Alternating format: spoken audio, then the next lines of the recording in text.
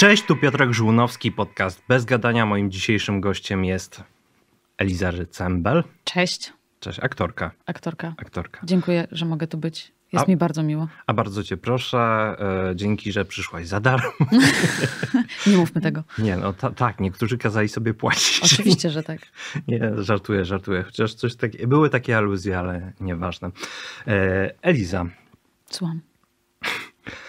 czy ty e, poza byciem aktorką kim jesteś? Jakbyśmy, wiesz, wyjęli z ciebie, zostawili e, całą resztę, to kim jest Eliza Rycembel poza byciem aktorką?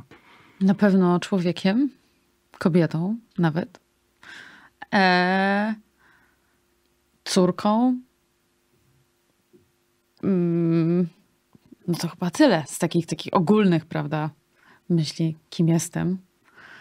Ale nie wiem, nie, wiem- nie wiem o co, co pytasz do końca, no bo to jest takie najprostsze, co nie? Nie, Że jestem po prostu, twoja- każda, twoja każdy, każdy jest jakąś córką, prawda, czy tam synem. Matko, dobra, matką jeszcze nie. No, jakby mam psa, Mhm. który może nie jest moim synem, ale jest na, takim moim rudym, małym, Mhm. słodkim, więc powiedzmy, że jestem psią mamą. A jeżeli byś nie została aktorką, powiedzmy, wyobraźmy sobie to hipotetycznie, to kim byś była dzisiaj? Nie mam pojęcia. Nie mam zielonego pojęcia. Przygotowywałam się na medycynę, ale nie dostałabym się na nią ze względu na to, że wcale nie byłam tak świetna z chemii i z fizyki.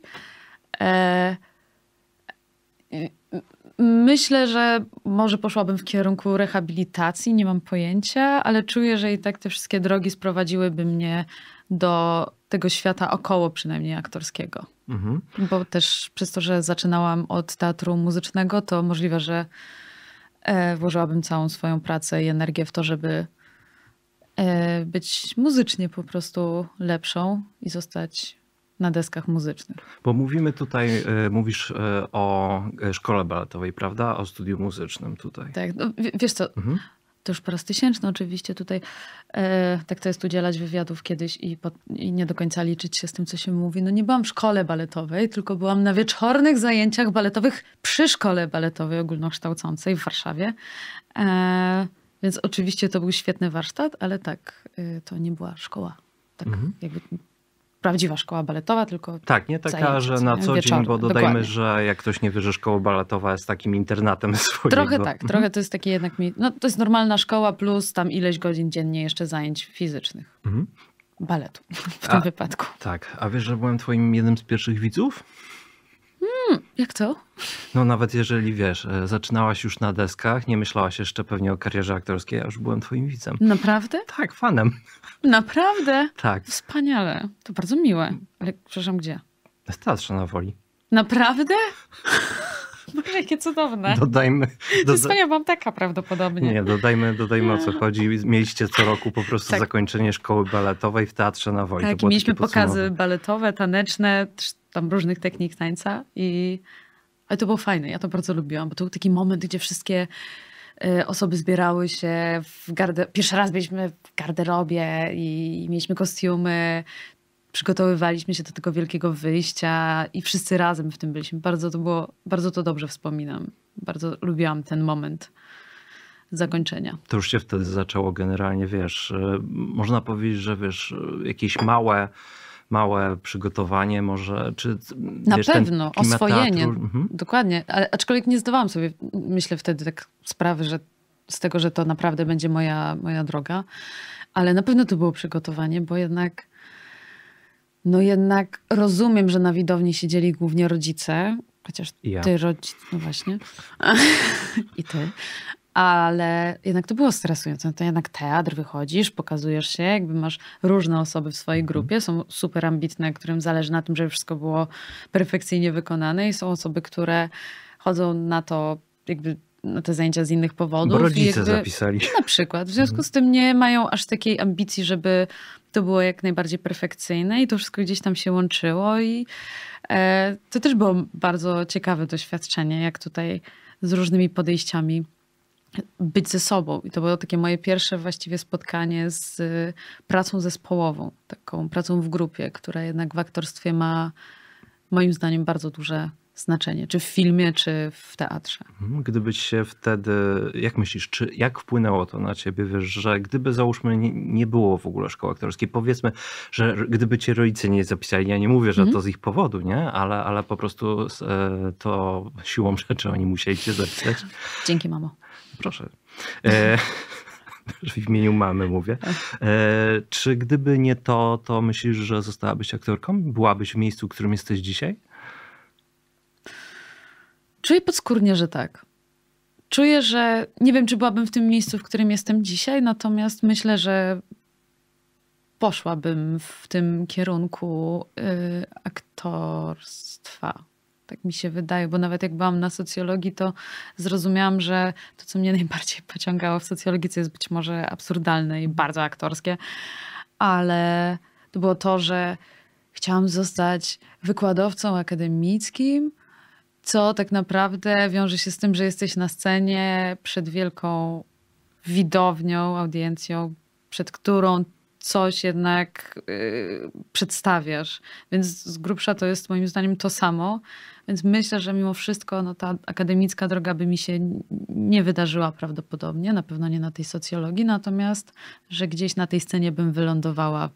Tylko pytanie właśnie, czy jako profesorka, czy jako aktorka, czy wokali... no wokalistka raczej nie, ale No właśnie, miałem pytanie to jako, wiesz, jako wokalistka właśnie, czy, bo trochę nagrywasz. Fakt, to jest wszystko oparte jednak w, na przykład do przedstawienia waszego teatru potem o tem e, i około, że tak powiem, teatralnych wydarzeń, ale trochę nagrywasz. Czy właśnie myślałaś jakoś, żeby wiesz, chodź na chwilę na przykład, żeby, nie wiem, nagrać płytę, e, zaśpiewać jakiś koncert, coś? Nie. nie. To znaczy, Mhm. oczywiście, że mam swoje małe marzenia, które spełniam na karaoke, natomiast e, jakieś arie musicalowe czy wielkie pieśni e, radiowe, natomiast nie, zupełnie nie. Nigdy nie myślałam o tym, żeby nagrać płyty i żeby pójść tą drogą. Mhm. To mnie przeraża. Dlaczego? To mi się wydaje bardzo stresujące. Nie wiem, może dlatego, że po prostu się tym nie zajmuję, ale jakoś wydaje mi się, że będąc piosenkarką, jesteś bardzo.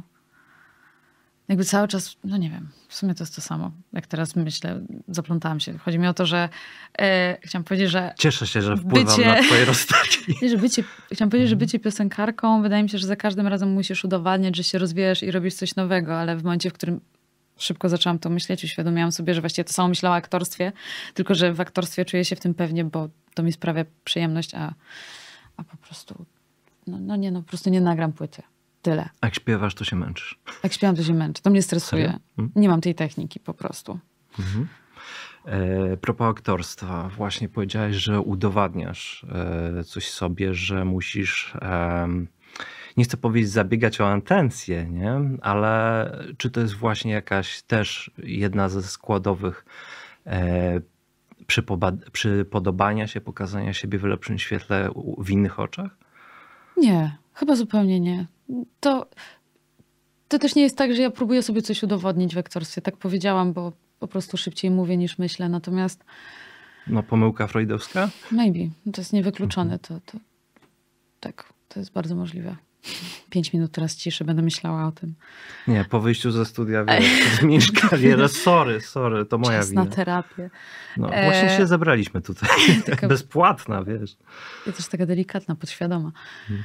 E, ale wiesz, dla mnie aktorstwo nie jest jakby udowadnianiem niczego i na pewno nie jest, y, nie potrzebuje tego do atencji. To jest jakby miła konsekwencja tego, że nie wiem, jestem osobą y, rozpoznawaną, bądź że ktoś doceni coś, co ja robię. No to jest, to oczywiście jest bardzo potrzebne i to wpływa bardzo na i moje ego, ale też poczucie własnej wartości i chęć y, rozwijania się. Niemniej e, no dla mnie aktorstwo jest o przekraczaniu, i, ale takim nie przemocowym przekraczaniu. I to, e, ale też o rozwoju jakimś, bo wiesz, jakiś czas temu uświadomiłam sobie, że mm, nie ma chyba dla mnie nic gorszego niż zatrzymać się na jakimś poziomie w swojej pracy i pozostać w tym jakby um, konstant W strefie komfortu, powiedzmy.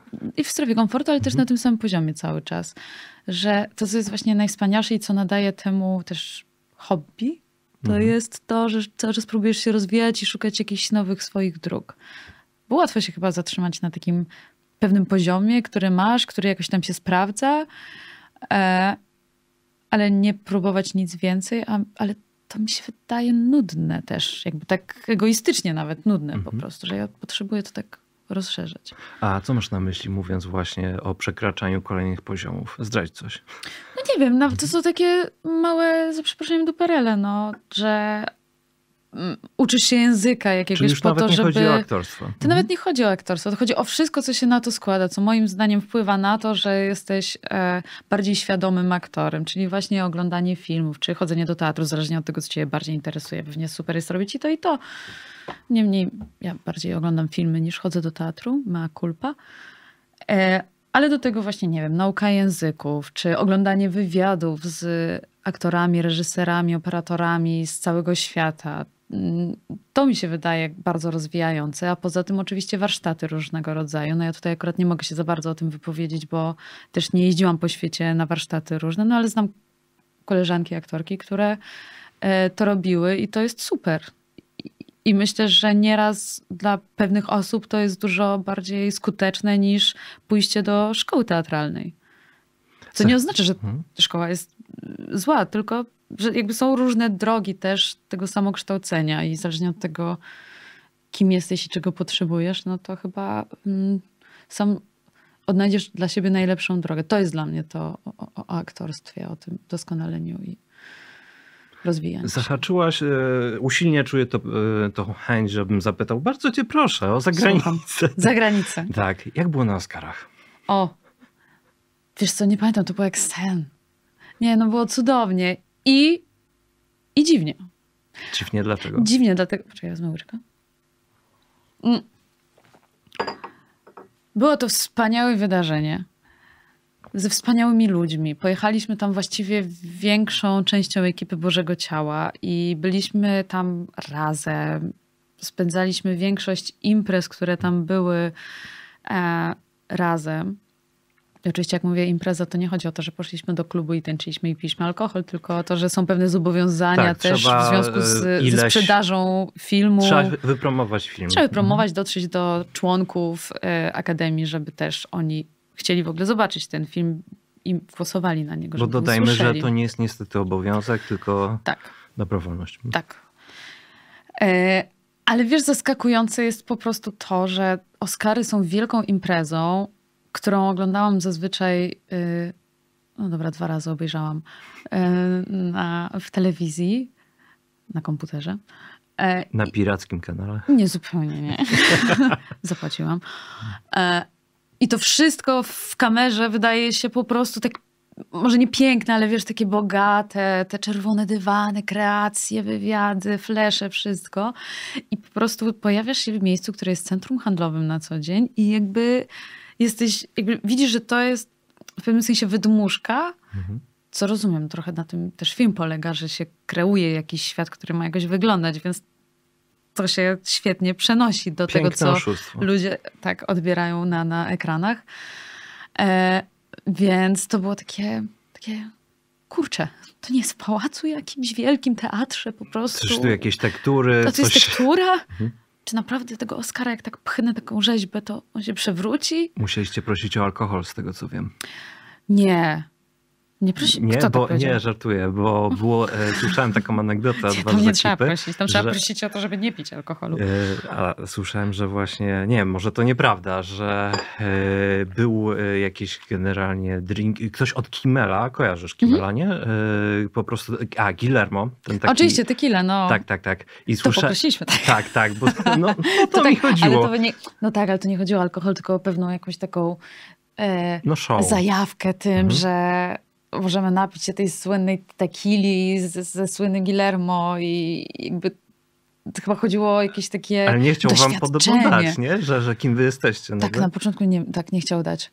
Ale w końcu Bartek go chyba przekonał i Bartek w końcu się y, z Tomkiem napili. Ja tak się wycofałam troszeczkę, bo to było ich bardziej doświadczenie niż moje, a ja to tak obserwowałam. Przyjechali Polacy do tak. Hollywood. I, z, I, znowu ten stereotyp. Dzięki. I bardzo dobrze, byli otwarci, zaproponowali, powiedzieli, nikt nie musi wiedzieć od początku, kim oni są. Super by było, ale... Hmm. e, było jakieś jednak, e, wiesz, rozczarowanie. Jest strasznie duża konkurencja. Już sama nominacja jest po prostu wielkim wyróżnieniem. Tak. Czy było jednak jakieś oczekiwanie, że może jednak? Z mojej strony nie. Jeśli chodzi o y, pozostałych, na pewno producenci i reżyser mieli y, gdzieś z tyłu głowy, że może. Natomiast też chyba wszyscy oni zwłaszcza kojarzą realia też tego, jak promuje się film i to jest kwestia też pieniędzy, bo jakby pieniądze y, dają ci to, że film może być bardziej rozpromowany. A... I, I niestety trochę tak też jest. Oczywiście wygrał świetny film i nie mówię, że tylko dlatego, że miał pieniądze, natomiast na pewno też przyczyniło się do tego to, że był produkowany przez konkretną firmę, która dawała wielki budżet na to, żeby potem puścić dalej ten film i żeby też właśnie członkowie Akademii, to o czym już trochę wspomnieliśmy, mogli, yy, wiedzieli, że on istnieje. Mhm. Bo to też jakby nie jest oczywiste. Myślę, że są ludzie, którzy nie mają pojęcia, że jakiś film istnieje, bo no bo skąd? Dodajmy może dla widzów, e, o jakich kwotach mówimy, żeby było wiadomo, jaki jest... Takie Eli... 10 zł, 20. Dokładnie, że e, taki przykład, e, nie chcę się mądrzyć, ty tu jesteś ekspertką. Ja to liczby nie znam cyfr. I, ile, ale na przykład na polski rynek, e, żeby wiesz, widzowie, którzy nas słuchają, a nie wiedzą o jakich kwotach mówimy, jaki Eliza jest e, najtań, e, taki średni, przeciętny budżet polskiego, taniego filmu? Wspaniałe pytanie. Słuchaj, nie wiem. Wiem natomiast, że są filmy za no 2,6 no. milionów i to są mhm. świetne kwoty, ale na przykład są filmy, mikrobudżety, które powstają no, za niecały milion. No tak są naprawdę. też filmy za darmo, gdzie I też powstają, oczywiście, ale są też krótkie mhm. metraże, które powstają za, nie wiem, 30-40 tysięcy złotych i są fantastycznie zrobione, tylko są po prostu krótkie, więc zakładam, że skoro mhm. 15 minut kosztuje 40 tysięcy złotych i to nie jest jakieś kino akcji, tylko to Dramat, jest po prostu na mhm. przykład film bez jakichś wielkich efektów specjalnych, no to jak się pomnoży to razy tam ileś, no to już tam słuchacze, widzowie mogą sobie to policzyć te 40 tysięcy razy Ale cieszę się, cieszę się, że idzie postęp, bo jak e, Witold Adamek Świętej Pamięci, nie wiem czy kojarzysz mhm. operatora, tak, to... Uczył mnie. E, to... W szkole. Kurczę. Znaczy miałam jedne zajęcia z nim, ale... Z operatorem? Tak. E, obejście z kamerą, nie? Mhm. No to chodziło. Ale twoim profesorem był Maciej Sztur. Tak, ale Tutaj. to później. Mhm, jasne. To Witold Adamek mi opowiadał właśnie, że, że jak pojechali z, z filmem, chyba to była Olimpiada, o ile pamiętam tytuł, e, trochę mi wstyd, nie pamiętam dokładnie, to wtedy to po, e, zrozumieli po fakcie, że kurczę, no chyba jednak nie dostaną Oscara, bo nie wypromowali właśnie, mm -hmm. nie mhm. było żadnej e, reklamy, gdzie na Times Square były po prostu wielkie billboardy i tutaj mówimy o filmach nieanglojęzycznych. Tak. Więc fajnie, że, że producenci waszego tak. filmu Boże Ciało e, zrozumieli, idziemy w dobrą stronę, może za, producenci, może za 20 lat będzie. Też y, PiS w sensie Państwowy Instytut Sztuki Filmowej, no jakby też te pieniądze szły z Instytutu, no mhm. plus na pewno szły też z innych y, fundacji. No ja, nie wiem, dostałam w pewnym sensie stypendium na to, żeby mhm. polecieć tam na, na Oscary, no bo też nie jest tak, że cały budżet przewidywał y, że budżet przewidywał nas wszystkich tam, tylko też musieliśmy zdobywać jakieś dofinansowania na to, żeby móc tam dojechać, więc no to jest, to, to tak, no jakby w filmie są potrzebne duże pieniądze, żeby wypromować, ale też chyba nie zawsze. Myślę, że są filmy, które bez tych pieniędzy też, e, też pojawiają się i się o nich rozmawia i stają się sławne taką pocztą pantoflową. Chyba, że jeszcze aktorom ktoś nie zapłaci. To się zdarza jeszcze? Tak, absolutnie. Mhm. No, bardzo często, znaczy nie wiem jak z aktorami, ale zdarza się, że y, producenci nie płacą ekipie. Nie wiem, ja w swoim życiu miałam może kilka takich historii, nie, które nie tyczyły się mnie. Jakby to nie jest tak, że ja nie dostałam Nie, teraz jest chwila, ale że... możesz się upomnieć. nie, ale nie, ja nie miałam tego problemu nigdy, ale e, są osoby, które walczą o to, żeby e, dostać jakieś wynagrodzenie. Mhm. Niestety. Ale cię niestety, to jest smutne, mhm. no ale tak, są ni niestety tacy producenci i producentki, które w taki sposób organizują funduszem, że nie mają na tyle, żeby za pierwszym razem wypłacić wszystkim. Bo nie. ja nie wierzę, że mają złą wolę. W sensie nie chcę wierzyć w to. Okej. Okay. Aktorstwo to jest zawód, czy coś więcej dla ciebie? To jest zawód, na pewno. Mhm. Czy jest coś więcej? Tak, hobby. Pod... Zajawka. Mhm. A podpisałabyś się, ale pasja już, jakaś misja? Misja nie, ale na pewno, nie wiem, tak pewnie odpowiedziałam.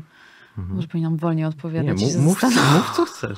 Nie, wydaje mi się, że to nie jest żadna, na razie nie mam żadnej misji w związku z aktorstwem. E, ale jest to na pewno e, bardzo duża część mojego życia, która wpływa też na to, że właśnie oglądam filmy albo że obserwując ludzi na mieście, czy podsłuchując ich czasami, to są dla mnie jakieś pomysły, które sobie w kajeciku zapisuję, bo może kiedyś mi się do czegoś przydadzą. W sensie, że już mi się włącza też takie e, przewrażliwienie, że wszystko wokół może być inspiracją. Czy książka, którą czytam, że ona może być coś, albo słucham muzyki i myślę sobie, hmm, może kiedyś jak będę grała jakąś taką postać, to super by było stworzyć playlistę, gdzie ta piosenka będzie e, będzie mnie inspirowała do tej postaci. Czyli cały czas się monitorujesz, że coś ci się przyda z życia. Na przykład, tak. Mhm. Ale to jest fajne, wiesz, bo też jakby doszłam do momentu, w którym to nie jest tak, że ja teraz muszę coś udowodnić i ja muszę znaleźć te inspiracje, tylko one po prostu tak wpadają mi i to jest bardzo fajne. To jest jakiś taki swobodny moment w życiu. Mhm. Czyli jeszcze, jeszcze nie jest ta, ta nerwica jakaś natręt w jakiejś... Albo już po niej. Aha, bo mam na myśli na przykład, e, nie wiem czy e, słyszałaś o takiej anegdocie, w sumie jest to prawda, prawda, najprawdziwsza, że kiedyś taką aktorkę e, jeszcze w Związku Sowieckim, już taką leciwą panią, która cały czas była, no może nie jak Danuta Szaflarska do, aż tak do samego końca, bo dodajmy, mhm. że Danuta Szaflarska zmarła, no i właśnie, na, na scenie. Tak, czy... Daily Soup, tak? E, w Teatrze Żydowskim, o ile A, pamiętam. To. E, takie może dziwne pytanie w twoim wieku jeszcze, a chciałabyś tak zakończyć swoją drogę? Słuchaj, wydaje mi się mhm. to yy, wydaje mi się to filmowe, magiczne, natomiast trochę mm. Zbigniew Zapasiewicz chyba też umarł y, podczas tak, aktu. Ale mhm. no, tak, no, podczas próby, ale y, chyba jakby trochę nie ma Hmm. Jeśli wierzyłabym w to, że jest coś po drugiej stronie, to super by było umrzeć na scenie, bo mogłabym sobie obserwować to później jakby z innego jakiegoś świata. Natomiast przez to, że ja trochę jednak nie wierzę w tam nic innego. W Boga dodajmy. W Boga też. Sorry Boże. Sorry. To, mhm. y, no to po prostu trochę nie ma to dla mnie znaczenia. W sensie, no na pewno wolałabym szybko i na scenie niż y, mieć jakąś długą chorobę. Jasne. Aczkolwiek tak, wydaje mi się to dziwnie magiczne i, i takie romantyczne. zwieńczające tak y, pracę aktorską i też pasję. Pod, podsumowanie. Tak. Wracając jednak do misyjności e, zawodu, e, takie pytanie z mojej strony. Czy w każdym wypowiedzianym słowie jesteś po stronie wartości? to jest genialne. Nie miałam pojęcia, czego mam się spodziewać po tym wywiadzie. Coś tam przypuszczałam. W związku z tym zawsze jak się stresuję i rano idę na spacer przed takim wywiadem, sobie zadaję mnóstwo pytań, jakby wcielam się w twoją rolę i zadaję sobie mnóstwo pytań i teraz już nie mam maseczki, więc nie mogę tak po prostu otwierać buzi i odpowiadać na głos. Sobie w głowie odpowiadam na pytania i pierwsze pytanie, które sobie pomyślałam, to było o Zbigniewa Herberta, że na pewno to padnie. Taki Jezus Maria, będzie się to ciągnęło za mną do końca no, życia. Popełniłaś fopa, musisz teraz pokutować. Jestem... E, Jestem po stronie wartości, tylko wiesz, no to jest jakby moje wartości, a wartości innych to są tak różne, że. O. Ale jednak dodajmy, że tutaj chodzi o e, list, który kazali wam, tak. zmusili was nauczyć się na pamięć, na pamięć. listu Herberta do studentów tak. Akademii Teatralnej. No wiesz co, hmm? u nas też, to, to akurat uważam, że było jakby ja nie czułam się przymuszona, też to była część naszego egzaminu e, z profesorem Malajkatem na pierwszym roku, podczas którego my mówiliśmy ten tekst i wykonywaliśmy jakieś przyruchy najróżniejsze. W związku z tym to nas uczyło jakiejś współpra współpracy. Byliśmy jednym organizmem jako rok, czy tam grupa, mhm. jedna z grup na roku. Więc to też nie było jakieś straszne. Natomiast pamiętam, że wtedy bardzo buntowałam się na ten tekst sam w sobie, że on jednak wydawał mi się bardzo taki narzucający i przemocowy i oldschoolowy, a dopiero po jakimś czasie y, zaczęłam go przestałam na niego tak krytycznie patrzeć po prostu. W sensie otworzyłam się na to, że mogą być inne interpretacje i też, że czasy mogą się zmieniać i że jakby nie wszystko, co. E, że jakby dla mnie tandeta może też być czymś innym, mhm. bo domyślam się, że w tym liście tandetą było zagranie w reklamie na przykład, a dla mnie to nie jest tandetne zagrać w reklamie w tych czasach, w których żyjemy, no bo czas też się zmienia. E, I wszystko się wokół nas zmienia co się stało, później tego nie ma. Maltretując cię dalej, mogę pytać, e, czy nie, no bo tak ci się spodoba, mówisz, że jesteś wierna tym słowom, no to ja wiesz, robię ci egzamin. Słucham. Czy, no to e, jesteś modna? Modna? czy, czy rzetelna? Hmm. Jestem rzetelna. Nie, to było retoryczne pytanie. To, to było, I modna. Wiesz, modna? Rzetelna i modna. Perfekt, perfekt. Ale wracając, bo zahaczyłaś o rektora Malajkata. Yy, czy u was jeszcze na Miodowej kradną? Słuchaj, nie mam pojęcia jak jest teraz. Wydaje mi się, że jak opuszczałam szkołę, to się pojawiły już bramki y, we FUA.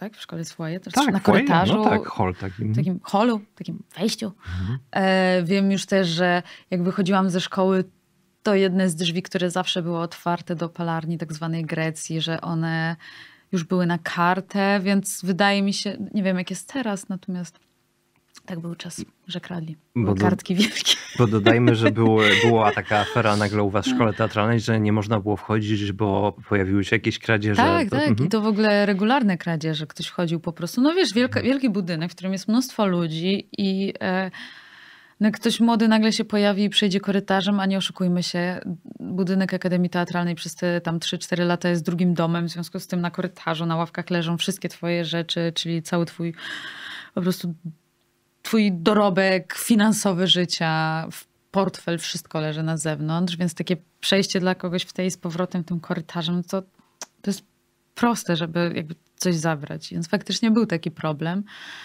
E Mam nadzieję, że już tak nie jest. No. Nie wiem, mi się pamiętam, że wszyscy mi, yy, raczej wszyscy bez przesady, od was yy, z Akademii yy, mi bardzo gratulowali, bo ponieważ udało mi się przejść do szkoły i dopiero rektor się zapytał, co ja tu robię. No widzisz, no Ale... więc się zmieniło, więc się zmieniło, no bo mhm. kiedyś to jednak było tak, ej, kto to jest? I tak, nie, nie wiem, no to pewnie jakiś student.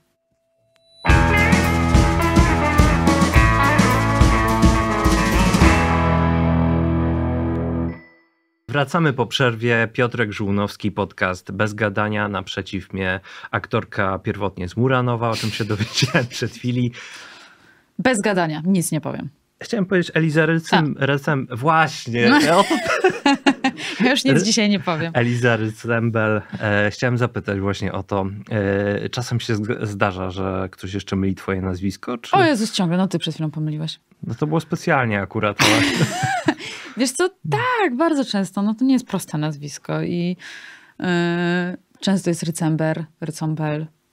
Tylko już, znaczy, zależy oczywiście, kto się pomyli. No, czasem mnie to irytuje, czasem mnie to nie obchodzi. To naprawdę trochę zależy i od dnia, i kondycji, w której jestem, ale też od tego, gdzie ten błąd się pojawił. Mhm. Na gali rozdania. No to już wtedy mam, mhm. wiesz, takie Zwalam to na stres. Mhm, Okej. Okay. No tak, no, nie, nie, nie, będę głębiej w to. A skąd jest generalnie to, wiesz, bo to jest dosyć nieczęste nazwisko, nie? Bo ja spra- 37 osób w Polsce chyba jest z tym nazwiskiem. Wow. Bo ja e, a połowa to twoja rodzina. Tak. Ja sprawdzałem generalnie, skąd się wzięło to nazwisko. I co ci wyskoczyło? Albo nie wiem, gdzie sprawdzałeś. I nic. Zero. nie, i, ale nie, nie wiesz, jakie jest pochodzenie. Ja znam trzy pochodzenia. Mhm. Dawaj. E, no więc geneza tego nazwiska w mojej rodzinie są trzy teorie na ten temat. Mhm. E, jedna z teorii powiada, że to, tak twierdzi mój wujek, że to nazwisko przed wojną, i chyba mój dziadek też, że przed wojną to nazwisko miało na końcu jeszcze E, czyli było takie rycembele z, mm, z daszkiem z francuskiego, mhm. że to pochodziło z, tam od francuskiego ressemble.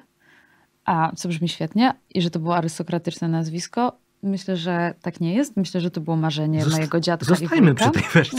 Myślę, że to było ich marzenie. Muranów i... też pochodzi z francuskiego, nie? Muranów. E, I e, myślę, że to było ich marzenie i rozumiem je. Uważam, że to jest piękna, piękne pochodzenie. Piękna legenda. Piękna legenda, może prawdziwa, nie wiem.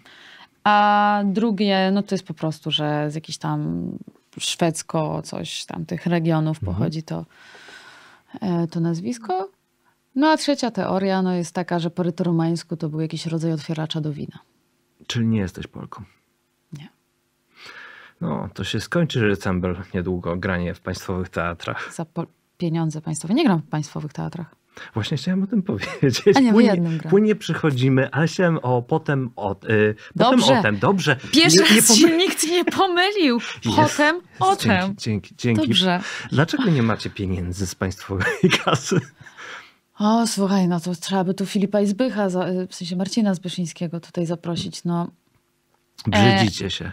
nie, właśnie chyba to nie o to chodzi. Ja jakby nie chcę tutaj teraz plotek siać, bo oni mnie później po prostu y, pokopią. Natomiast e, myślę, że Poza trochę wynikało... Trochę wynika... Myślę, że trochę to wynikało z tego, że też e, jakby do, pewne dofi- pewnych dofinansowań nam nie dawali. Przez wiele lat szukaliśmy siedziby dla naszego teatru i jakby te wszystkie konkursy są, jakby po pierwsze bardzo ciężko usłyszeć o wielu z tych konkursów na siedzibę, a już dostać, wygrać ten konkurs, to nie chcę mówić, że trzeba mieć yy, znajomości, ale myślę, że znajomości pomagają w bardzo wielu przypadkach. No i myślę, że jest podobnie z takimi yy, dofinansowaniami z czy państwa, czy z Unii Europejskiej, czy skądś, że, czy z jakichś innych budżetów, że yy, są takie pieniążki, które po prostu nie zostały nam przyznane. Są takie pieniążki, które, y, z których nie skorzystaliśmy, bo to wiązałoby się z tym, że musielibyśmy też y, coś dać w zamian. Na, na, a to były warunki na przykład, na które się tam część osób nie zgadzała. No, no, myślę, że mnóstwo rzeczy na to wpływa. Nie jest tak, że nie chcielibyśmy takich pieniędzy, ale też gdzieś wydaje mi się, że nauczyliśmy się funkcjonować w taki sposób, że pewne pieniądze wkładamy. W tym momencie mamy Patronite, też mamy swoich sponsorów, mecenasów tak zwanych, którzy e, też nas wspierają i to tak naprawdę dzięki nim też my możemy się rozwijać i pozwalać sobie na to, żeby na przykład kupować jakiś sprzęt, żebyśmy my aktorzy też dostawali i nie tylko realizatorzy i tak dalej, wynagrodzenie. W związku z tym my jesteśmy naprawdę w stanie z tego już powoli żyć, a nie tylko traktować to jako takie Pasja szkołę misja. wieczorową. Jasne. Co? A czy jest, e, czy potem o tym jest, e, nie chcę, wiesz, być e, oczywisty, ale zwykłym teatrem? Czym jest potem o tym? Potem o tym jest niezwykłym teatrem. Why? Jest niezwykłym teatrem, dlatego że stworzyliśmy go z grupą znajomych. Nie chcę mi stworzyliśmy, bo ja tam dołączyłam tak naprawdę w którymś momencie, no ale teraz się czuję bardzo częścią. E, staliśmy się stowarzyszeniem, które produkuje własne produkcje, gdzie Marcin Zbyszyński pisze i reżyseruje te teksty i teraz to się powoli myślę, że będzie zmieniało, że będziemy, odkąd mamy siedzibę też wpuszczali nowe osoby, nowe osoby do, do zespołu. Natomiast no, póki co było tak, że właśnie Marcin z nami siadał, rozmawiał, mówił o czym chciałby zrobić spektakl, rozmawiał z nami, jak my to widzimy. On z tego coś spisywał, a my z tego już po prostu tworzyliśmy pewną formę. Więc w tym sensie to jest niezwykłe. Plus wydaje mi się, że wypełniamy jakąś taką lukę na rynku teatralnym, w której mówimy o rzeczach, które nas interesują, nasze pokolenie, a nie em, Naszych rodziców. a nie naszych rodziców, ale wiesz, bo oczywiście, że teatr, y, jakby, że sztuki i teatry mają bardzo ciekawy repertuar, tylko że chodzi o to, że mało. No, że zazwyczaj, jeżeli już opowiadamy o internecie, o życiu online, offline, o uzależnieniach i tak dalej, no to albo mówimy o super ciężkich uzależnieniach właśnie u trochę starszego pokolenia, albo to jest spektakl dla dzieci. Co jakby dla 30-latków naprawdę jest tam 25-30 lat, no to tak mało jest tego teatru, tego kontentu, A, czy, który by przyciągnął. a jeszcze wracając do stricte twojego zawodu, właśnie wspomniałaś o roli aktora w współczesnym właśnie świecie. Jaką jest ona dla ciebie dzisiaj? Już nie mówię stricte o, o tej misyjności, ale czym jest Nie wiem. aktor dzisiaj? Nie wiem, wiesz, nie, nie, bardzo bym ci chciała odpowiedzieć. To jest pytanie, które y, zadaję sobie od Gali Orłów, na której powiedziałam Zbigniewa Herberta, czym jest tak, jaką aktor funkcję pełni w społeczeństwie. I e, z jednej strony wydaje mi się, że pełni taką funkcję po prostu e, rozrywkową, to znaczy, że być może jakby i filmy, i teatry, i, i spektakle powstają po to, żeby e, widz mógł się wyluzować, zobaczyć coś przyjemnego albo przejrzeć się w jakimś lustrze coś, żeby to było dla niego, a z drugiej strony czasem sobie myślę, że może w tym też jest misja, ale gdzieś jest to dla mnie jeszcze sceptyczne. Ciężko mi o tym myśleć w ten sposób, dlatego nie umiem ci kompletnie odpowiedzieć na to pytanie, bo jestem sama cały czas taka pływająca. Nie mam konkretnej odpowiedzi na to pytanie. Jestem hmm. jeszcze za malutka na to. Oj, to kiedy będziesz wielka? Zobaczymy.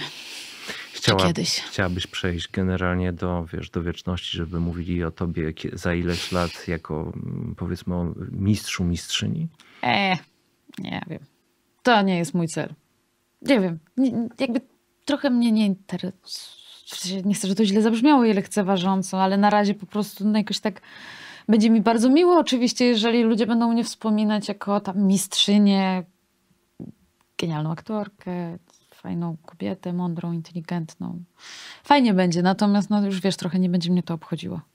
Bo cię nie będzie. To mnie nie będzie. Okej. Okay. Jesteś introwertyczką, ekstrawertyczką, choleryczką, choleryczką. Choleryczką. Jestem introwertyczką, myślę, która y, czasem jest ekstrawertyczką. Jak się to właśnie, y, bo takie mam wrażenie, nie chcę, wiesz, tutaj cię obrazić, tylko bardziej wyczuć. Próbuj mnie obrazić. Jak, y, mogę? Dzięki. E, wiesz, jeszcze za darmo jest, jeszcze ci nie płacę, nie mogę cię Zresztą mogę wyjść. Prawda. Albo nie gadać. Prawda, dokładnie, bez gadania. Bez gadania. E, jako introwertyczka pytam serio całkiem, jestem szczerze ciekawy. Nie to, żebym wcześniejszych pytań nie był ciekawy. Wcześniej nie pytałem szczerze. Dokładnie, wcześniej musiałem zadać pytania. Jak introwertyczka wpada na pomysł pójścia do szkoły teatralnej, zostania w ogóle aktorką, gdzie cały czas doznajesz w sumie ekshibicjonizmu na najwyższych obrotach? Nie wiem, jak to jest z psychologicznego punktu widzenia. Czy to jest tak, że w którymś momencie odkrywasz, że jesteś introwertykiem i jaki to ma wpływ na twoje życie tak naprawdę? Bo mam poczucie, że to, że jesteś introwertykiem, chyba nie wyklucza tego, że potrzebujesz jakiejś atencji. E, no bo to chodzi o czerpanie energii skądś, a nie e, oddawanie jej. Tak, tak, tak mi się wydaje. Nie chcę tutaj teraz gadać głupot, ale więc jakby moją energię ja czerpię raczej ze swojej samotni bycia ze sobą. I często ludzie mnie przerażają i jest ich dla mnie za dużo i jakby takie obowiązki życiowe mnie przerastają, jeżeli one są związane z tym, że muszę wykonać telefony do urzędów bądź osób, które są odpowiedzialne za coś. Natomiast mm, tę energię czerpię gdzieś tam ze swojego środka. To mnie bardzo motywuje.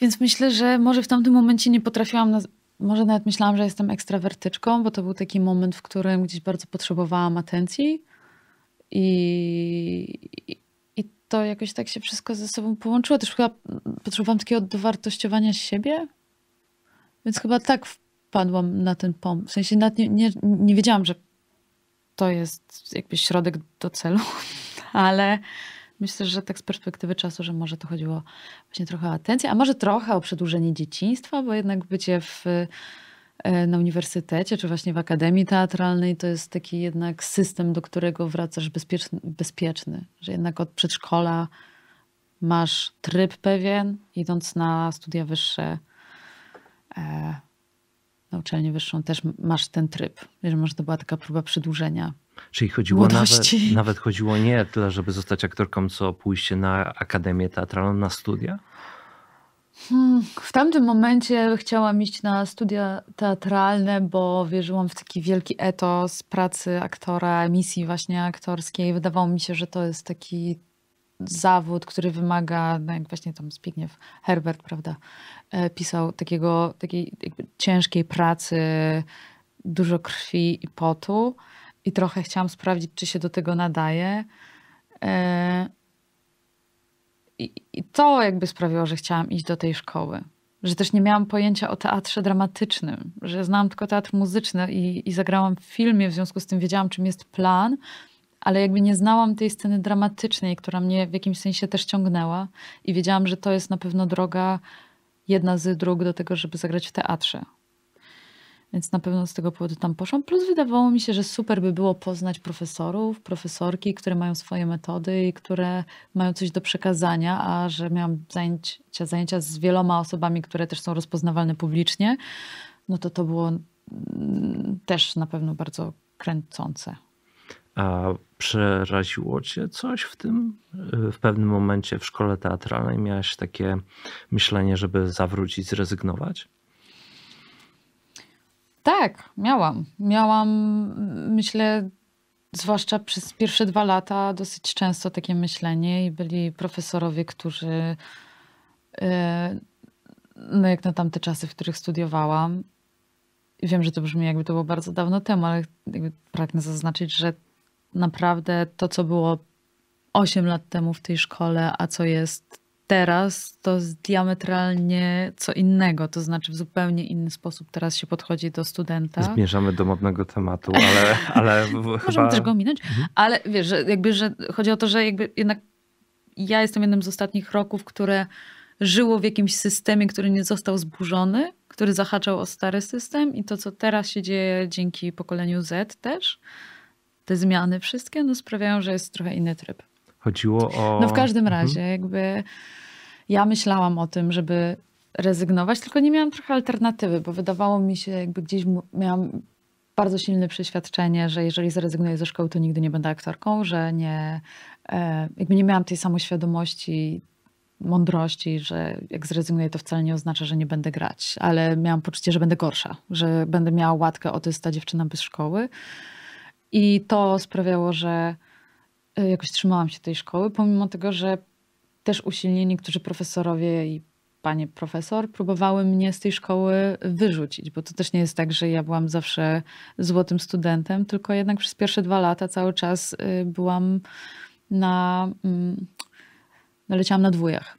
I nie mówię, że w tym nie ma mojej winy również, bo myślę, że ja też jakby nie byłam prosta i sama nie do końca wiedziałam, czego chcę i jak mogę skorzystać w pełni z tej szkoły, ale też oczywiście były jakieś tam niesprawiedliwości, które były związane z właśnie tym modnym tematem, do którego prawdopodobnie dążysz e, i po prostu jakieś takie czysto ludzkie nie, nie, nieporozumienia. Mhm. Bo dodajmy, ale że... przepraszam, mhm. chciałam tylko dodać, że na przykład byli profesorowie, którzy i pani profesor, które, którzy mnie bardzo wspierali i bardzo namawiali do tego, żebym nie rezygnowała, ale też nie zapomnę e, zdania jednego z profesorów, który jest dla mnie takim jednym z ważniejszych, jedną z ważniejszych postaci, e, że Eliza, po co ty studiujesz? Miałam takie, no nie wiem, chcę studiować, chcę być aktorką i tak dalej. No tak, Eliza, ale ty już zaczęłaś pracować, ty jesteś na jakimś poziomie i jakby szkoła, no nie wiem, może coś ci da, może nie. Ja czuję, że ona cię trochę zamyka i może lepiej, żebyś po prostu, nie wiem, szła swoją drogą, jakby zrezygnowała z tej szkoły, co dla mnie w tamtym momencie było takie, Boże, czy jestem beznadziejna i muszę zrezygnować, a z perspektywy czasu to jest jakaś taka najmądrzejsza rzecz, jaką on w tamtym momencie mógł powiedzieć i to było bardzo wspierające. Tak Czy myślisz, że to właśnie było motywujące specjalnie przez e, awersję nie. przed odwróceniem? Myślę, tego, że on czy, naprawdę wierzył w to, że to e, szkoła mi nie jest e, w pewnym sensie potrzebna do niczego, bo nie korzystam z niej w taki sposób, w jaki mogłabym skorzystać, że po prostu to coś mnie blokuje na to. Ale jeszcze wtedy zostałaś. Tak, absolutnie, skończyłam szkołę. Mhm, nie, to, to wiem. Skończyłam, się przygotowałem. Wiesz, że e, trzeciego roku było super. Tak. A co generalnie rozczarowało cię po wyjściu ze szkoły, w ogóle w zawodzie? W zawodzie czy po wyjściu ze szkoły? Po wyjściu ze szkoły najbardziej rozczarowało mnie to, że nie umiem ci wyłożyć y, metod na przykład aktorskich. Ale w zawodzie, w zawodzie już. A w zawodzie, co mnie najbardziej roz... No wiesz... Hmm. Mnie zawsze rozczarowuje niesprawiedliwość. I może to jest takie, co chcesz na świecie, miłości i pokoju, ale mhm. no trochę tak jest, że ja bardzo nie lubię pewnych niesprawiedliwości i nie lubię jak ktoś jest traktowany lepiej bądź gorzej. Jak kotkowi złomią. No, jak kotkowi złomią nóżkę, nóżkę tak, tylko tak. po to, żeby po prostu kogoś a, a, ucieszyć. A, tak na serio? A tak na serio, no mhm. wiesz, naprawdę chodzi o te niesprawiedliwości. Jakby ja jestem zwolenniczką myślenia o tym, że film będę głównie się skupiać na filmie, bo jakby o teatrze okay. tak ciężej mi e, tu mówić, ale wydaje mi się, że to wszystko jest taka grupowa praca. I grupowa praca mam na myśli, oczywiście, że to my aktorzy e, i aktorki później świecimy twarzą i to głównie nas się ocenia, bo my siebie pokazujemy, no ale na, na to wszystko to nie jest tak, że ja sama siebie ucharakteryzowałam i przywiozłam na ten plan i nakarmiłam i wyreżyserowałam i sfotografowałam. Jakby jest cała masa osób, które na to pracują. I wydaje mi się, że y, no, no nie, nie, nie, nie, lubię, jak po prostu ktoś z góry traktuje in, innych na planie, albo właśnie, wiesz, żarty żartami, gwiazda, gwiazdeczka, mhm. ale jakby ja nie, nie jestem fanką osób, które są gwiazdą, gwiazdeczką i jakby umiem, nie, staram się nie oceniać tego, niemniej jest mi jakby ciężko przejść tak nad tym do porządku dziennego i myśleć sobie, że to jest okej. Okay jak ktoś się wymądrza. A myślisz, że... Tak jak ja teraz. Dokładnie. Nie, ja mam od początku takie wrażenie. Myślisz, że ciebie ktoś może tak postrzegać jako, jako wiesz, gwiazdę właśnie? Czy, czy masz taki statut już ze wszystkimi konsekwencjami, dobrymi i złymi? No bo jednak trochę osiągnęłaś. Mm. Nieskromnie powiem, że wydaje mi się, że są osoby, które mogą taką mnie myśleć, ale myślę, że nie w takim, nie gwiazda w znaczeniu wielkich gwiazd, które były dla nas autorytetami, są, no, nie, nienawidzę tego słowa, nieważne, no jakby nie tych... Bardzo cię proszę, zaraz będzie e, pytanie. ale, ale bardziej w takim sensie, że wiesz, jeżeli, no, nie wiem, kręciłam gry rodzinne, czyli sekrety, gry rodzinne, sekrety rodzinne. Serial Netflixa. Serial mhm. Netflixa z Łukaszem Ostalskim, z Izą Kuną, ze wspaniałymi osobami, gdzie jak już wszyscy się poznaliśmy i dobrze y, nauczyliśmy swojego języka i wiedzieliśmy, gdzie są nasze granice, to myślę, że dla osób, które przychodziły na epizody, bądź którzy byli statystami, bądź tak, takie dochodzące osoby na tym planie, to znacznie zabrzmiało, nie powiem. E, w każdym razie, że takie no ta, osoby... Ta hołota, nie? to w każdym razie myślę, że takie osoby mhm. mogły e, myśleć, że my z Izą po prostu jesteśmy gwiazdami, bo y, byłyśmy takie, jakby zarażałyśmy się jakąś energią i byłyśmy też dla reżysera takie czasami takie uszczypliwe, ale wiesz, to wynikało z tego, że my się po prostu bardzo poznaliśmy i bardzo polubiliśmy. Mhm. Więc myślę, że w tym sensie ktoś może myśleć, że czasem jestem gwiazdą, ale nie, nie, nie sądzę, żebym tak w takim ogólnym znaczeniu. Czyli trzyma, trzymasz się korzeni podwórka z Muranowa. Z Muranowa, no. Tak. Jak wspominasz generalnie? Trzepaka. Jak chodziłaś na trzepak? Oczywiście, że tak. Je jeszcze był, nie zabrali wam. Były trzepaki. Uwielbiałam, trze... Y, miałam z koleżanką zawsze się, robiłyśmy układy choreograficzne na drzewach, właśnie na Jezu, hulejnogi wnosiłyśmy na drzewa. A to były nasze bazy, więc no, jak ziemia się paliła, no to trzeba było na drzewo z hulejnogą albo z rowerem wejść. Czyli podłoga to lawa to mhm. wasza sprawka? Tak. No to dlaczego mnie to nie dziwi? Czego jeszcze nie potrafisz? Znaczy, co ci się jeszcze udało po prostu? Ale e, tak e, mówiąc całkiem serio, czy zostały jeszcze jakieś kontakty, wiesz, z tamtego okresu, z, z twoich korzeni? Z... No słuchaj, moją najlepszą przyjaciółką jest Agatka Trzybuchowska, którą znam 27 lat. Chodziliśmy razem do przedszkola, gimnazjum, podstawówki i jakby po dziś dzień mamy kontakt, więc tak, te znajomości pozostały. Oczywiście większość z nich się roz, już poluźniła, natomiast no taka Agatka mi pozostała. To dobrze, to jednak jakoś tak. pozwala, żeby nie, sodówka nie uderzyła do głowy. Tak. No, tak. ale nie... No, na, nie, no na pewno, w sensie przyjaciele, rodzina, jakby to są osoby, które mogą ci na pewno zwrócić uwagę w odpowiednim momencie. Ale niektórych zapominasz. Ja? No moje nazwisko nic ci nie powiedziało, no to także wiesz. No ja powiedziałem, byłem jednym z twoich pierwszych fanów, teraz w ogóle wiesz, jak trzeba przez agentkę, wiesz, nie odbierasz telefonu. No już zmieniło się przez tych parę lat dużo rzeczy. Nie, żartuję, z moją siostrą chodziłaś e, do szkoły baletowej, ale no mówię, no zapominasz. To jest wspaniałe. To jest niesamowity krąg. Z Dorotą chodziłaś na zajęcia, tak? ale okej. Okay. Ale to jest niesamowite, że to się tak łączy. Świat jest taki malutki. Ty nie pamiętasz, zatem nie będę ciągnął tego tematu. No, w propos gwiazdy, nie? Ale nie, żartuję sobie oczywiście. Nie, mo mogłaś zapomnieć, to było dawno i nieprawda. Eee, propos autorytetów, o których wspomniałaś, że lubisz bardzo to słowo. Gustaw Holubek powiedział kiedyś, że aktorem się bywa. Zgadzasz się z tym? Nie wiem. Ale teraz na przykład, wiesz, nawet jak tu rozmawiamy, to, to, to jesteś aktorką, czy tylko kiedy pracujesz? No, traktuję to jako pracę, więc myślę, że przychodzę w jakiejś postaci, ale raczej staram się, żeby to była postać Elizy. Czyli taka po prostu postać, która jak, najbardziej jest zbliżona do mnie, ale też poza pewne tematy, inne rzeczy nie wyjdzie. W sensie jakaś taka z pewnymi założeniami. Wracając do tego, bo takie mam wrażenie, że powiedziałaś, że trzymasz się tego, co jest tu i teraz. Co robiłaś w Hiszpanii? To była praca czy wypoczynek? Nie, byłam w pracy. Byłam, kręciłam mhm. film po hiszpańsku. To była koprodukcja peruwiańsko-hiszpańska i e, gram po hiszpańsku, nie mówiąc w tym języku, więc to było super miłe doświadczenie. Fonetycznie? Fonetycznie się nauczyłam, bo miałam za mało czasu, żeby się języka uczyć, mhm. ale no ale się udało i miałam fantastycznych partnerów, fantastycznych reżyserów i stworzyliśmy coś, co wydaje mi się formalnie bardzo ciekawe i myślę, że historia też może być ciekawa. No ale co z tego wyjdzie, no to wiesz, zależy tak naprawdę coś Nie jakby po montażu. Nie o słowie na P albo na K. ale...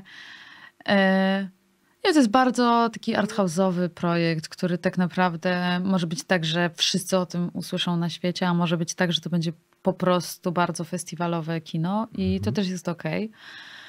E, bo mam poczucie, że spotkałam fantastycznych ludzi, że zrobiliśmy coś po prostu mega wartościowego. No i jeszcze w Hiszpanii, wiesz, mieszkałam tam przez półtora miesiąca. Było to naprawdę wspaniałe doświadczenie. A możemy coś więcej zdradzić o tej produkcji? No, reżyserami tego projektu to jest debiut reżyserski. Mhm. Jest Martin Guerra i Javi Barbero. Tak, znam. E, to są tak. Wszyscy kojarzą. I zagrałam e, po prostu ze wspaniałymi aktorami, z Aleksem Monarem, takim hiszpańskim aktorem, który myślę, że dla osób, które oglądają Netflixowe produkcje hiszpańskie mogą go kojarzyć, który jest super zdolnym, młodym aktorem i, i bardzo fajnym kolegą. I z Hopem Mansillą, który z Peru jest najbardziej znanym tam stand-uperem, przedowcipnym, wspaniałym człowiekiem którego z kolei misją życiową moim zdaniem jest to, żeby naprawdę ludzie się cieszyli zawsze. I to jest wspaniałe, że my pomimo różnic językowych, mhm. on w sekundę potrafił mnie rozbawić. Także prawie chciała mi się siusiu. E, no w każdym razie wspaniali ludzie. No i akcja dzieje się tego w 2010 roku w Hiszpanii podczas wielkiego kryzysu ekonomicznego. Jest to taki film mm, w którym trójka młodych ludzi w tej rzeczywistości musi się odnaleźć i spędza sobie ze sobą czas. I przyjeżdża do Polski. I przyjeżdża do Polski. Nie, jest ale serio? Za... Nie. nie, nie, nie, nie, nie, Ale nie wiem, czy wiesz, po prostu e, Polska, tak by the way, e, podczas tego kryzysu w Hiszpanii była jednym z głównych kierunków Hiszpanów. Bardzo możliwe, mhm. bardzo możliwe, że tak było. Może dlatego mnie wybrali do tej roli, a nie jakąś Serbkę albo Prac, Słowaczkę. Chcieli, przyjedzie szefowa. Przyjedzie szefowa. Ale kiedy się możemy tego spodziewać w kinach, jeżeli w ogóle? Czy to jeszcze jest za wcześnie? No ja mam nadzieję, że za jakieś pół roku, natomiast dopiero zeszłam z planów. Chociaż wcale nie tak dopiero. Nie, Zeszłam na początku grudnia. Mhm. E, myślę, że, oni, że, że produkcji zależy na tym, żeby jak najszybciej to zrobić. Bo też w sumie bardzo niedługo zaczynają się wszystkie wielkie festiwale klasy A, więc to jest zawsze marzenie. No ale też na pewno nie będą robić niczego na siłę, bo każdemu zależy na tym, żeby to było jak najlepsze. Ale no mam nadzieję, że nie dłużej niż e, do końca roku mhm. będziemy czekać. Okej, okay. w Polsce się możemy spodziewać? Czy... Mam nadzieję. Myślę, że to mhm. zależy od tego, czy firma znajdzie koproducenta polskiego, czy nie. No ja ze swojej strony tutaj będę walczyć trochę o to, żeby przynajmniej były jakieś ze dwa, trzy pokazy, żeby Polska też mogła, nie wiem, zobaczyć ten film. No jeżeli będzie się dostawać ten film na festiwale, no to na pewno w Polsce będzie można to zobaczyć. Jasne. Mam nadzieję. Żenujący żart prowadzącego Słucham. przed przerwą. E, Eliza, ile razy grano dla ciebie utwór dla Elizy? Miliard razy. To był pierwszy utwór, którego ja nauczyłam się, który ja nauczyłam się grać na fortepianie. Niezbyt... I ostatni.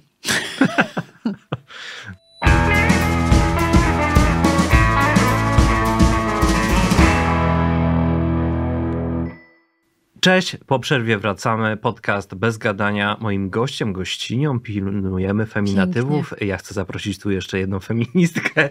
Muszę. Jest Eliza Rycembel. Dzień dobry, po przerwie. Cieszę się, że jesteś. Nie wyszła, miała taki pomysł. Było blisko. Ro robię co mogę. Eliza, co było dla ciebie największym wyzwaniem? Kiedy? W życiu. Całym? Jest. Niekoniecznie zawodowo. To jechanie tutaj do studia. No do, dobrze, jest daleko, ale bez Nie, oczywiście, wiesz, no po prostu od złej strony podjechałam, więc... A dałem mapkę. Rozpik no tak, tylko wiesz, rozpikselowana, bo, może to były jakieś małe urządzenia, takie na mhm. telefon, nie wiem. Ale serio, co, co było dla ciebie największym wyzwaniem w karierze? W karierze? No i widzisz, no zawęziłeś. E, w karierze największym wyzwaniem dla mnie było um, pogodzenie się z tym, że e, czasem jest tak w tym zawodzie, że bardzo dużo pracujesz i czujesz się super pewnie, a potem przychodzi czas, w którym nie pracujesz przez wiele miesięcy i musisz nauczyć się w tym funkcjonować bez takiego poczucia, że, to, że jesteś nic nie warta, tylko że tak po prostu to wygląda w wolnych zawodach. Mhm. Więc to było największe takie wyzwanie. Pewnie spodziewałeś się, że powiem jakiś projekt, nazwę projektu, nie, ale... Nie, nie, nie, nie, nawet nie. Ucieszyłem się serio, że tak, bo to było zbyt proste.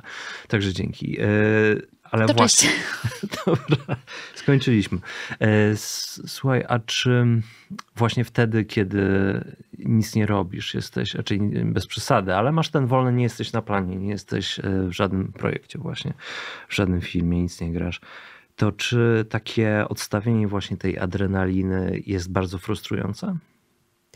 No, jest frustrujące odstawienie adrenaliny. Też wiesz, trudne jest dla mnie po intensywnym czasie nagle samej sobie organizować czas. Nie wiem, czy rozumiesz o co mi chodzi, że jakby jestem osobą, która potrafi się zmobilizować do tego, żeby, nie wiem, pójść na ściankę wspinaczką, czy spotkać się z ludźmi. Niemniej mam dużo mniej tej motywacji niż jak jestem zorganizowana podczas zdjęć. Że to znowu wracam do podstawówki, że jednak był jakiś taki tryb życia, gdzie czekało się tu na Boże Narodzenie, tu na ferie zimowe, tu na inny wolny czas i żyło się od tego punktu do tego i w tym czasie się po prostu robiło wszystko, co tylko można było.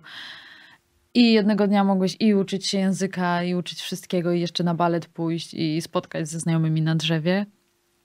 A no to ja mam coś takiego, że po prostu w tym wolnym czasie dużo czasu zajmuje mi dostosowanie się do tej rzeczywistości wakacyjnej i ciężko mi przychodzi wtedy odpoczywanie też, bo cały czas mam takie poczucie, że że muszę coś robić, że ja muszę być w ruchu, że po prostu jak się zatrzymam, to znaczy, że to jest koniec i ja jakby nic już mnie nie czeka, co jest oczywiście złudnym myśleniem, z takim odstawieniem po pracy. Mhm. A umiesz wypoczywać, odpoczywać?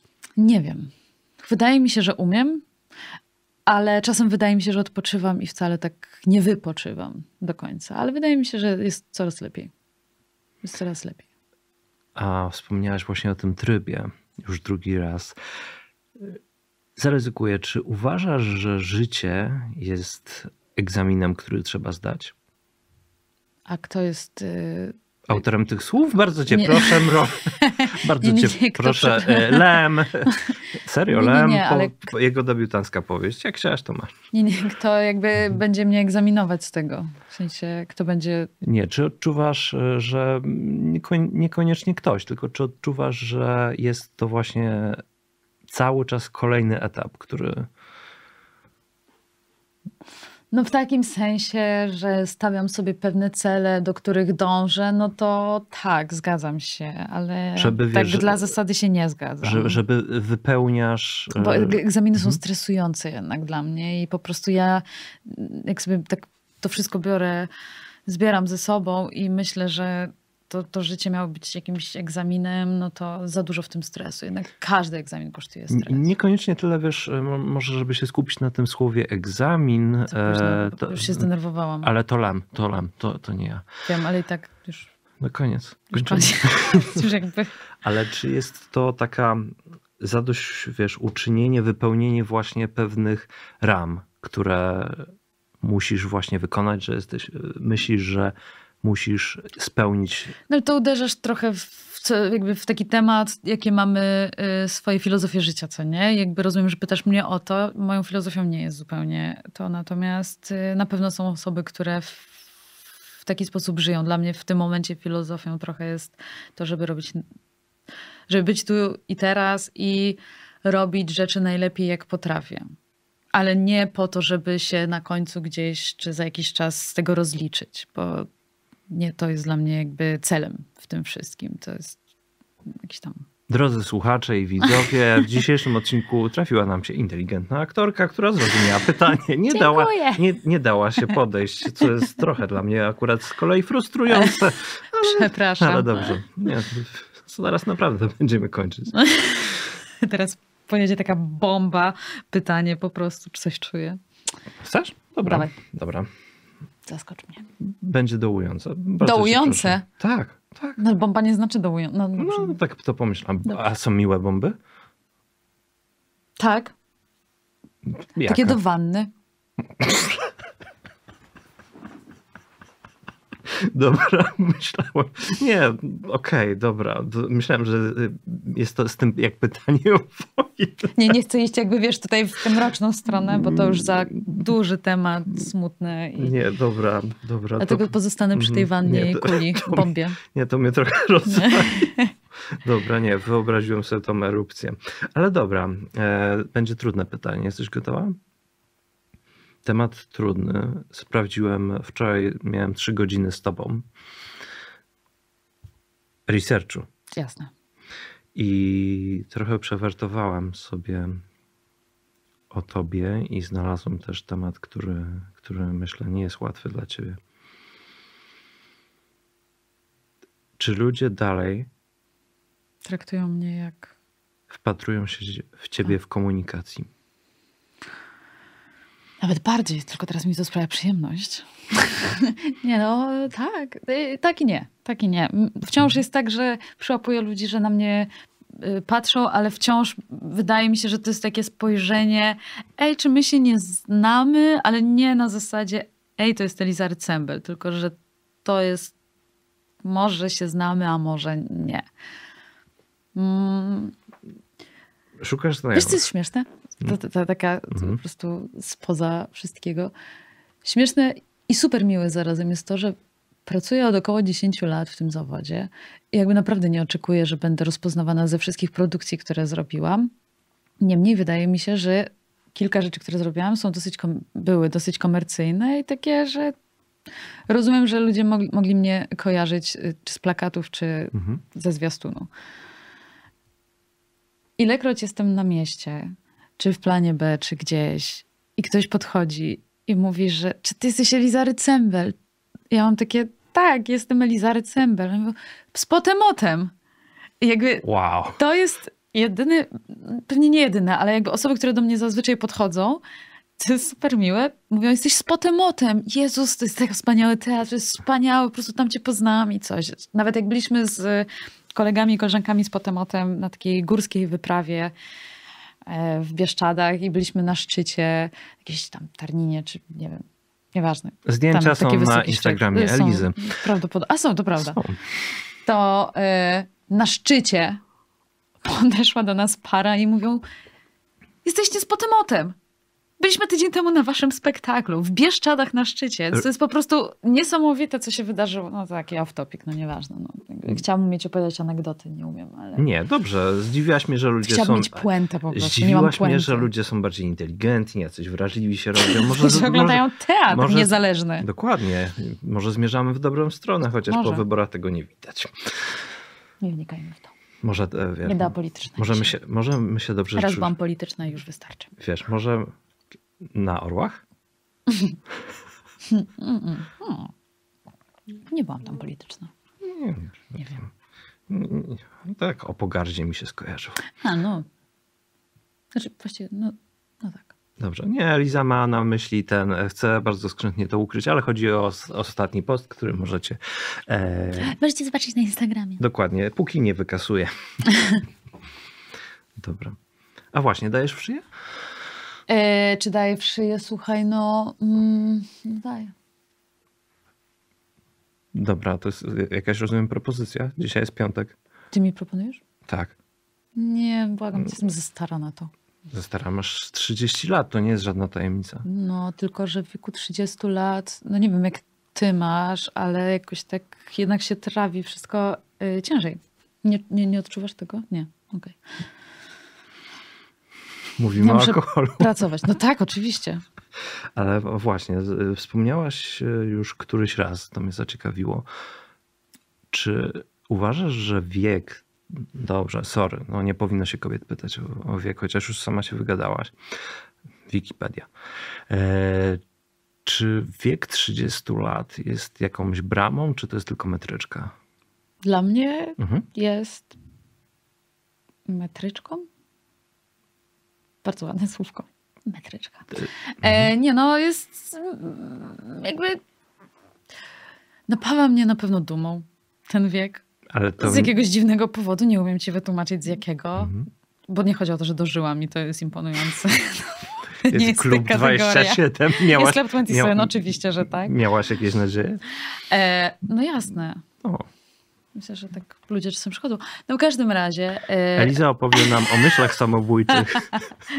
pani terapeutko, e, w każdym razie nie wiem, nie jest to dla, na pewno Mhm. dla mnie żadna brama. Niemniej jest coś takiego, że w wieku 30 lat coraz silniej czuję pewne naciski społeczne, kulturowe, które y, spoczywają na barkach kobiet. Ożeń się, załóż rodzinę. Na przykład, że jakby są Mhm. pewne, i, i nie mówię tylko, że w mojej rodzinie, bo wydaje mi się, że jakoś, przynajmniej moja mama jest bardzo taką otwartą, liberalną osobą i raczej nie, nie dociska, chociaż czasem jej się zdarza. E, pozdrawiam cię, mamusiu. Ale e, tak ogólnie po prostu, społecznie, że mm, no nie wiem, nieraz spotykam się z takim, no ale czemu, no, musisz postarać się teraz o dzieci, bo potem będziesz miała problemy. No i wiesz, i to jest coś takiego, że to jest wkurzające, stresujące. To w jakimś sensie jestem osobą wrażliwą, więc też na mnie wpływa i zaczynam myśleć, Boże, a może ta osoba ma rację, no ale jeżeli ja nie chcę mieć dzieci, albo może ja chcę właśnie mieć dzieci, a może nie wiem, że chcę mieć te dzieci, już pojawia się cały jakby taki model tego, jak jako 30-latka powinieneś powinnaś funkcjonować w tym społeczeństwie i, i, i to jest y,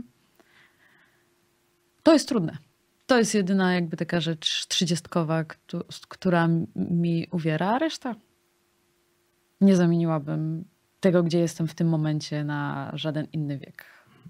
A mentalnie zatrzymałam się na 26 latach, więc A chcesz założyć rodzinę w sensie takim, no, o którym wspomnieliśmy właśnie, na zasadzie pies, kot, chomik, Domek, dzieci, domek pod Warszawą, mąż. Nie, ale, żona. Mm, ale nie, Nie, serio już nie. pytanie, myślisz o macierzyństwie, czy? Muszę myśleć, jestem, żyję w kraju, w którym muszę o tym myśleć. Zawsze widzę wszędzie plakaty o tym. Więc jakby muszę o tym regularnie myśleć. Okej, dobra. Nie myślmy już o naszym wiernym e, cesarzu. E, propos wieku właśnie. Czy nie masz troszeczkę już, Eliza, dosyć tego, że reżyserzy, producenci, showroomerów jeszcze chyba w Polsce nie mamy, e, obsadzają cię e, w rolach właśnie powiedzmy dziewczynek, osób e, dość młodych? Nie, bo tak nie jest. Pozwól, że się nie zgodzę. Nie, ale we- weźmy Pozwalam. Dobrze. No nie, nie, dziękuję. oczywiście, oczywiście, oczywiście masz rację, tak. Trochę, okej, dobra, trochę się to zaczęło zmieniać. To się zaczyna Mhm. zmieniać. Mam wrażenie, że tutaj właśnie zrobiłam ten serial Netflixowy, Mhm. w którym gram odpowiedniczkę swoją wiekowo, powiedzmy, może troszeczkę młodszą. No jakby powiedz z tego pokolenia Chyba wiele nie zdradzimy właśnie propos rodziny, wychodzisz tam za mąż. Wielkim pębzolem. Ale, ale od razu, to, to, to wiele nie zdradzamy, od razu Nie, to to olewasz. To był zwiastun. I zwiastun, też. jakby to nawet nie jest Tajemnica. Nie zdradzamy nic. Nie. No w każdym razie i też y, nakręciłam serial z, tam, z Christopherem Rusem, mhm. y, Polskie Morderczynie, w którym też wcielam się jednak w y, no już dojrzałą kobietę. W związku z tym wydaje mi się, że to wszystko się gdzieś e, powoli zmienia. No wiesz, teraz mnie już to w ogóle nie irytuje. Miałam moment, w którym się buntowałam. Miałam takie, kurcze, cały czas, obsadza, jakby cały czas zapraszacie mnie na castingi e, dla nastolatek, gdzie mi jest naprawdę ciężko już jakby przekroczyć pewne rzeczy, bo po prostu w inny sposób myślę. Już też, wiesz, jak ja powiem słowo essa, to to jest... E, jak, jak, proszę? Essa to to już jakby mhm. brzmi śmiesznie, a nie naturalnie. Co, mhm. To nie jest jak pokolenie Z, że to jest naturalne, tylko jakby u mnie to jest takie, o, wymyśliła sobie, jak chce być odbierana. Więc y, no po prostu ciężko mi było, ale w tym momencie mam coś takiego, że jest mi nawet miło, jak zaproszą mnie na, na casting do, y, do młodej dziewczyny, a nie kogoś po przejściach nie wiem, jakoś przestało mieć to już chyba dla mnie znaczenia. Może po prostu reżyserzy obsady przestali zapraszać mnie na to po jakimś wywiadzie, w którym powiedziałam, że już jestem zmęczona tym. Nie chcę być złośliwy, bo ja... No, no że po prostu tej... się zestarzałam. Ale o dowód już nie pytają. Pytają czasami. Tak? tak? To jeszcze dobrze. Dobrze, chociaż powiem ci, że jest ciekawe, że jednak wczoraj byłam na lotnisku i nikt nie sprawdził mi dowodu ani razu. Przepraszam, to taki off, off topic totalnie, no bo to jakby Eliza powiedziała innymi słowy, że kupowała alkohol. Że kupowałam alkohol. I zawsze proszę. A jak. No tak. Podobno... A jak lecisz między państwami, to Podob... nikt nie prosi. po, podobno dłużej będziesz żyć. Tak? Tak. Według najnowszych badań osoby, które młodziej wyglądają i to nie są tym razem amerykańscy naukowcy, niestety. Boże, będę płakać. Strasznie się cieszę, bo ja mam obawę, że będę jakoś krócej żyć. Masz mi, ja też. Masz mniejsze zużycie biologiczne i w ten sposób e, e, przeważnie osoby, które, serio, które młodziej wyglądają, dłużej prawdopodobnie będą żyć. Wspaniale. Bo się Dziękuję. inaczej starzejesz. Starzejesz się wolniej, czyli jesteś trochę innym gatunkiem. Bardzo Ci dziękuję za te informacje. Proszę, warto było przyjść dzisiaj, tak. żeby się tego dowiedzieć. Jezu, wyjdę tak szczęśliwa. Możesz zmarnować... Pójdę na imprezę od razu. Możesz dzisiaj z piątek iść. E, możesz zmarnować kilka lat życia, więc Uf. proszę bardzo. Chociaż w twoim, w twoim przypadku to chyba trochę nie wyszło. Nie. A już, żeby przejść do poważnego pytania, e, czy masz wrażenie, że twoja no, kariera, ścieżka nie potyczyła się troszeczkę zbyt szybko? Dosyć duże projekty przyszły dość szybko, chociaż się mówi, złośliwi filmowcy mówią, że jak nie zrobisz kariery jako aktorka, aktor przed trzydziestką, to się weź wyloguj. No. Jak to znosisz? Znoszę to. No.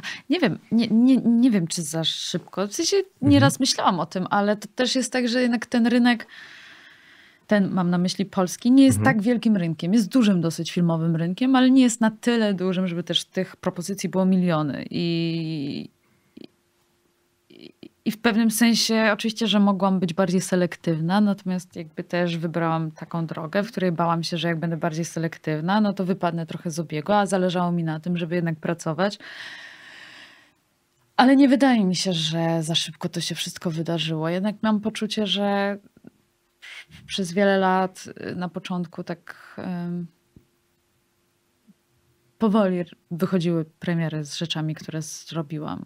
I też byłam skupiona na szkole, byłam skupiona też na sobie, tak prywatnie, więc to nie, nie, nigdy nie pomyślałam, że może coś za szybko. Delikatnie. Za wolno mhm. myślę, że stałam się w jakimś sensie mądra do wykonywania tego zawodu i świadoma, w takim sensie właśnie samorozwojowym i tego, co mi daje ten zawód i jakby co ja, jak ja chciałabym do niego podchodzić. To za późno moim zdaniem zrozumiałam. E, co się pod tym kryje?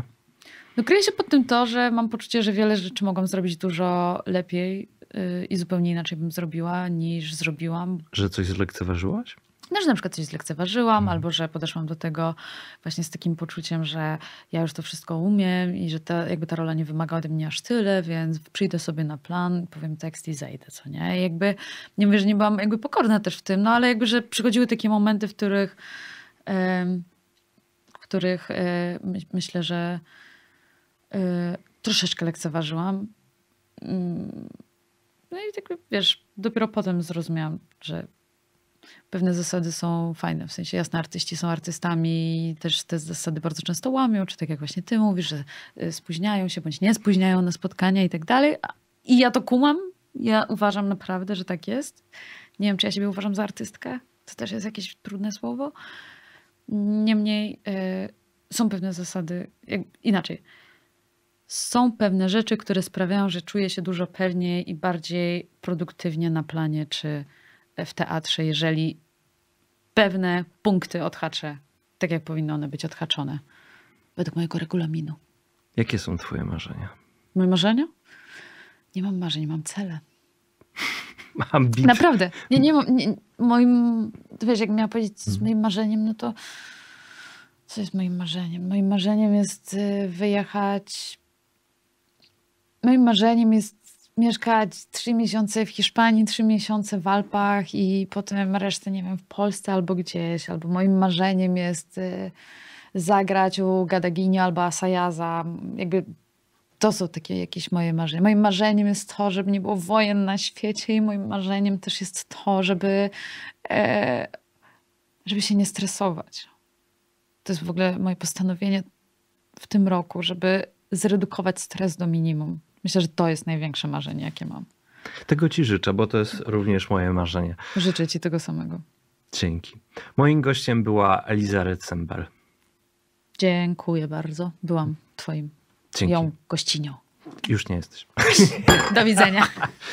Dzięki bardzo. Dziękuję.